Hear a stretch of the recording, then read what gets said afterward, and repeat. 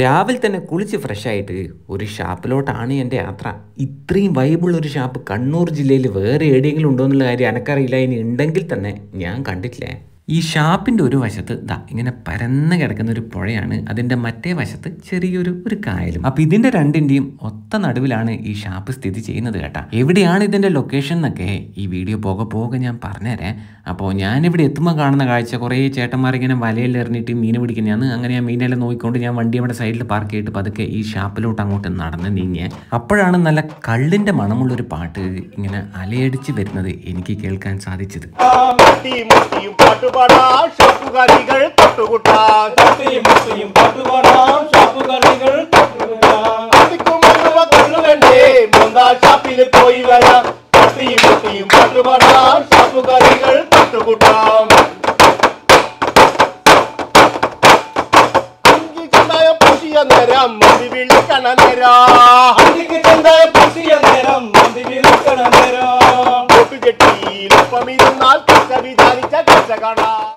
അങ്ങനെ കുറച്ച് പേര് ഒരു സൈഡിൽ ഇരുന്നിട്ട് കൊട്ടിപ്പാടുന്ന് കള്ളൊഴിക്കുന്നു അടിക്കുന്നു പിന്നെ ഫുഡ് അടിക്കുന്നു. അങ്ങനെ ഫുൾ ഓൺ വൈബാണ് കേട്ടോ ഒരുപാട് ഷാപ്പിൽ ഞാൻ പോയിട്ടുണ്ടെങ്കിലും എന്തായാലും ഈ അടുത്ത കാലത്തൊന്നും ഇത്രയും വൈബുള്ളൊരു ഷാപ്പിൽ ഞാൻ പോയിട്ടില്ല കേട്ടോ. ഈ ഞണ്ടിനെ കണ്ട് നിങ്ങൾ ഇനി ഇപ്പം പിടിച്ച് കൊണ്ടുതന്നെയാണ് അപ്പം അതിന്റെ കൈയും കാലെല്ലാം കെട്ടിയിട്ടുള്ളത് ആ കെട്ട് മുറിക്കുന്ന നേരം ഞണ്ട് കത്രിക താഴെ ഇടറാന്ന് പറഞ്ഞിട്ട് കത്രികയും കൊണ്ടങ്ങ് പോയി കളഞ്ഞു. അപ്പോൾ ഞാൻ പറഞ്ഞു വരുന്നത് എന്താണെന്ന് വെച്ച് കഴിഞ്ഞാൽ ഇവിടെയുള്ള എല്ലാ മീൻ ഐറ്റംസ് ഉണ്ടല്ലോ ഏ? എല്ലാം നല്ല സൂപ്പർ ഫ്രഷാണ് അതൊരു ട്രേലാക്കിയിട്ട് കൊണ്ടുതരും പച്ച മീൻ അതിന്റെ അകത്തുനിന്ന് നമ്മൾ സെലക്ട് ചെയ്യണം. നമുക്ക് വേണ്ട ഐറ്റംസ് എന്തൊക്കെയാണെന്ന്. അതാണ് ഇവിടുത്തെ ഒരു രീതി. അങ്ങനെ ആ ട്രേ വന്നേരോ ഞാനും ആ ട്രേയിലുള്ള ഐറ്റംസ് നോക്കിയിട്ട് കുറച്ച് ഐറ്റംസ് കൈയോടെ അങ്ങോട്ട് പറഞ്ഞിട്ടുണ്ട്. ഇവിടെ മീൻ പൊരിക്കുന്നതൊഴികെ ബാക്കിയുള്ള എല്ലാ ഐറ്റംസും ഉണ്ടാക്കുന്നത് ഈ വിറകടപ്പിലാണ് എന്നുള്ളതാണ് ഇവിടുത്തെ മറ്റൊരു പ്രത്യേകത. ഞാൻ ഏകദേശം ഒരു പത്തേ മുക്കാൽ പതിനൊന്ന് മണിയെല്ലാം വീട് എത്തിനേട്ടാ നമ്മളെ സമയം പിന്നെ അങ്ങനെയാണല്ലോ. ഏതെങ്കിലും ഒരു വഴിക്ക് പോകുമ്പോൾ രാവിലെ തന്നെ അങ്ങ് ഇറങ്ങും. അപ്പോൾ ഒരു പതിനൊന്നര എല്ലാകുമ്പോഴത്തേക്ക് ഇവിടെ ആൾക്കാർ ഇങ്ങനെ വരാൻ തുടങ്ങി. ഇനി പിന്നെ ഇവിടെ നല്ല മൺകുടത്തിലാണ് കള്ള് സെർവ് ചെയ്യുന്നത്. ആ മൺകുടത്തിന് ഒരു പ്രത്യേകതയുണ്ട്. കുറച്ച് ആർട്ടിസ്റ്റിക് വർക്കെല്ലാം ചെയ്ത മൺകുടാണത്. അപ്പോൾ ഇപ്പോൾ സമയം ഏകദേശം ഒരു പതിനൊന്നര പതിനൊന്നേ മുക്കാലായിട്ടുണ്ട്. ഇവിടുന്ന് ഇന്ന് നല്ലോണം അങ്ങോട്ട് അടിച്ച് മിനിങ്ങാന്ന് വിചാരിച്ചിട്ട് രാവിലെ തന്നെ വീട്ടിൽ നിന്ന് ഒരു കട്ടൻ രണ്ട് വാട്ടിയ റൊട്ടി മാത്രം കഴിച്ചിട്ടാണ് ഇറങ്ങിയത്. അത് കഴിച്ചിട്ട് കാർ കയറുമ്പോൾ തന്നെ സത്യം പറഞ്ഞാൽ എനിക്ക് വിശക്കാൻ തുടങ്ങി. പിന്നെ ഇവിടുന്ന് നല്ലോണം കഴിക്കാൻ ആ ഒരു പ്രതീക്ഷയാണ് എന്നെ മുന്നോട്ട് മുന്നോട്ട് മുന്നോട്ട് നയിച്ചത്. അപ്പോൾ ഇവിടെ എത്തിയിട്ട് ഇവിടെ അതായത് ഞാൻ പോയ ദിവസം ഇവിടെ ഉണ്ടായിരുന്ന എല്ലാ ഐറ്റംസും ഓർഡർ ചെയ്തിട്ടുണ്ട് കേട്ടോ. ഇനി ഐറ്റംസ് എത്ര ഉണ്ടായിരുന്നെന്ന് ചോദിക്കുകയാണെങ്കിൽ എന്തായാലും ഒരു പത്ത് മുപ്പത് ഐറ്റംസ് വരും. എന്താ ഇതൊക്കെ ആയിരുന്നു കേട്ടോ അത്. ഇതിൽ നല്ല ഹെൽത്തി ആയിട്ടുള്ള പച്ചക്കറി ഐറ്റംസ് ഉണ്ട് മൂന്നാൽ ടൈപ്പ് പുട്ടുണ്ട് പൊറോട്ടയുണ്ട് പൊരിച്ച പത്തിരിയുണ്ട് പിന്നെ വേറെ ഒരു ടൈപ്പ് പത്തിരിയുണ്ട് കാടയുണ്ട് ചെമ്മീനുണ്ട് കപ്പയുണ്ട് പിന്നെ മുരുണ്ട് കല്ലുമക്കായുണ്ട് ഞണ്ടുണ്ട് അങ്ങനെ ഐറ്റംസ് ഒരുപാട് ഒരുപാട് ഒരുപാടുണ്ട് കേട്ടോ. അതെന്തൊക്കെയാണെന്നൊക്കെ കഴിച്ചുകൊണ്ടിരിക്കുന്നതിന്റെ ഇടയിൽ പറയുന്നതല്ലേ നല്ലത് അല്ലേ? അപ്പോൾ ഏകദേശം ഒന്നും കണ്ടില്ലേ? എന്നെ ഇനി പതുക്കെ അങ്ങോട്ട് കഴിക്കാൻ തുടങ്ങിക്കളയല്ലേ കൺ കണ്ടത് നിജം കാണാതത് പോയി. നീ കണ്ടതെല്ലാം പോയി. ഇനി കാണപ്പോവത് നിജം.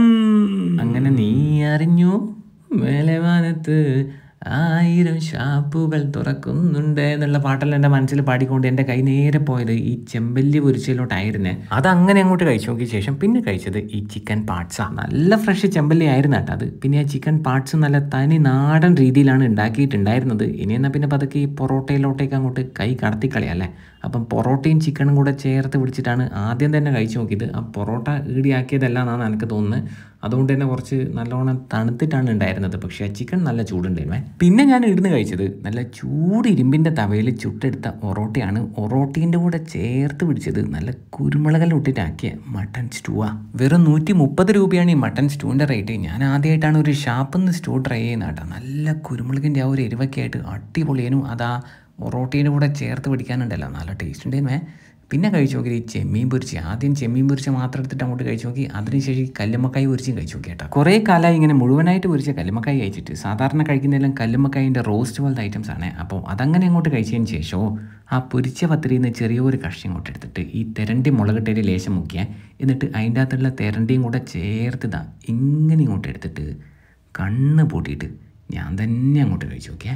ഇത് നല്ലോണം ഉള്ളിയെല്ലാം മുറിച്ചിട്ടിട്ടുള്ള ബീഫാണേ. ഇങ്ങനത്തെ ഐറ്റംസ് എല്ലാം ചങ്ങായിമാർ ഒപ്പരം വന്നിട്ട് കള്ളു കുടിക്കുന്ന ആളുണ്ടെങ്കിൽ കള്ളെല്ലാം കുടിച്ചുകൊണ്ട് ഫുഡെല്ലാം ഒപ്പരം അടിക്കാൻ വേണ്ടിയിട്ട് വേറെ തന്നെ ഒരു വൈബാണ് കേട്ടോ. പക്ഷേ ഇതൊക്കെ ഒറ്റയ്ക്ക് കഴിക്കാനുണ്ടല്ലോ. അത് വേറെ ഒരു ലഹരിയാണെന്ന് പറഞ്ഞു വെച്ചുകൊണ്ട് ഞാൻ ഈ മുരു അങ്ങോട്ട് കഴിച്ചു നോക്കട്ടെ. നല്ല തേങ്ങാപ്പാലിന്റെയും കുരുമുളകിന്റെയും ഫ്ലേവർ ആയിരുന്നു കേട്ടോ. ആ മുരുവിലെ പ്രധാന ഹൈലൈറ്റ് ഇത് ഇവിടുത്തെ മാന്തൽ പൊരിച്ചാണ്. രണ്ട് മാന്തൽ പൊരിച്ച് വാങ്ങിച്ചിട്ടുണ്ടായിരുന്നു. കാരണം മാന്തൽ എന്റെ ഒരു ഫേവറേറ്റ് ആയിട്ടാണ് മാന്തൽ മുഴുവനായിട്ട് കഴിച്ചു തീർന്നിട്ട് നത്തൽ കഴിക്കാമെന്ന് വിചാരിച്ചു കഴിഞ്ഞാൽ നത്തൽ തീരെ അങ്ങ് തണുത്തു. അതുകൊണ്ട് ആദ്യം എല്ലാം ലേശം ലേശം ഒന്ന് കഴിച്ചു നോക്കട്ടെ.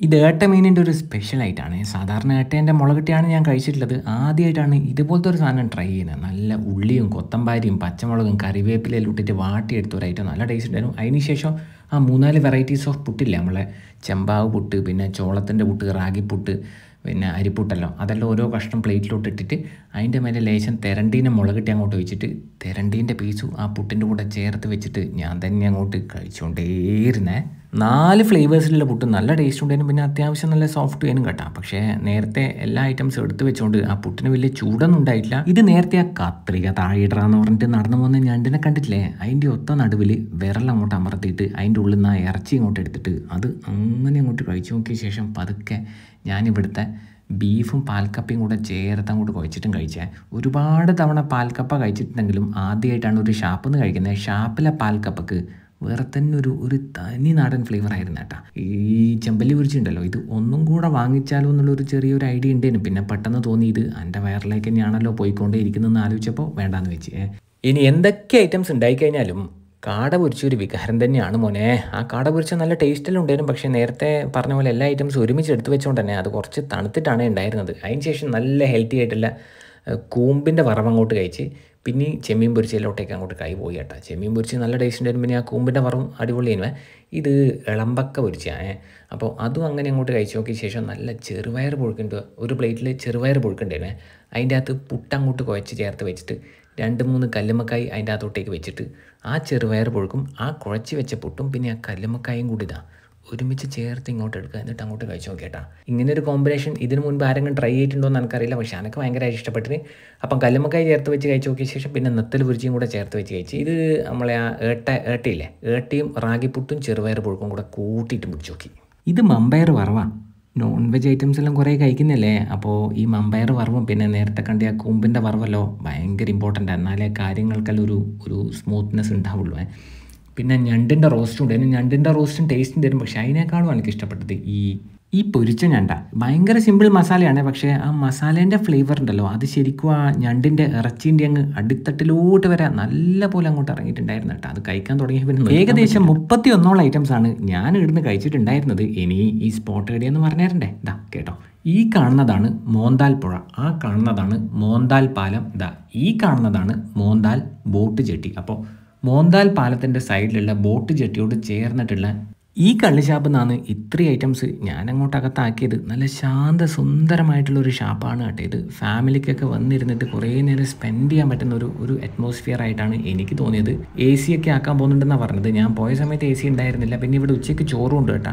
സത്യം പറഞ്ഞാൽ അതെല്ലാം കഴിച്ചിട്ട് ചോറ് കഴിക്കാനുള്ള സ്ഥലം എനിക്ക് ഉണ്ടായിട്ടില്ല. അല്ലെങ്കിൽ ലേശം ഞാൻ ചോറും കൂടെ ഒന്ന് ഒന്ന് കഴിച്ച് നോക്കാമെന്ന് വിചാരിച്ചതായിരുന്നു. അപ്പോൾ ഇതാ ഷാപ്പിന്റെ ആ ഒരു എസ്തെറ്റിക് ലുക്കെല്ലാം കണ്ട. നല്ല രസമില്ല കാണേ ദാ കാണുന്നതാണ് മോന്താൽ പാലം. അപ്പോൾ ആ പാലം എത്തുന്നതിന് തൊട്ട് മുൻപേ ലെഫ്റ്റ് സൈഡിൽ ഒരു ഓട്ടോ സ്റ്റാൻഡ് ഉണ്ട്. ആ ഓട്ടോ സ്റ്റാൻഡിനോട് ചേർന്ന് തന്നെ ഒരു പോക്കറ്റ് റോഡ് പോകുന്നുണ്ടാ ദാ ഈ റോഡ്. ഈ റോഡ് ലേശം മുന്നോട്ട് പോയി കഴിഞ്ഞാൽ ആടെ ഒരു ബോട്ട് ജെട്ടി കാണാം. ആ ബോട്ട് ജെട്ടിയോട് ചേർന്നിട്ട് തന്നെയാണ് നമ്മുടെ മോന്താൽ കള്ളിഷാപ്പേ. പക്ഷേ മോന്താൽ കള്ളിഷാപ്പിന്റെ ശരിക്കും പേര് കേരള കെഫേ കള്ളിഷാപ്പ് എന്നാണ് കേട്ടാ. അപ്പം ശരി.